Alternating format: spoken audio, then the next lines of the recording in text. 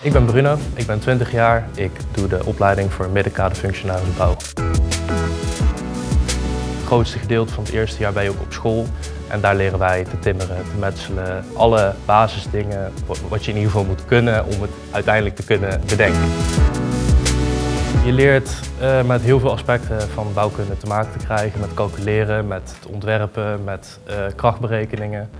Je merkt wel dat er heel veel design ook bij komt kijken, vooral bij duurzaamheid. Bij architectuur ben je veel bezig met het creëren van, van iets. En het is, alles is op schaal, het, het is, gaat super precies. Het is een soort van knutselen on hardcore level. Ja, vooral als je creatief erg gemotiveerd bent, dan is dit wel een van de leukste dingen die je hier binnen kan doen.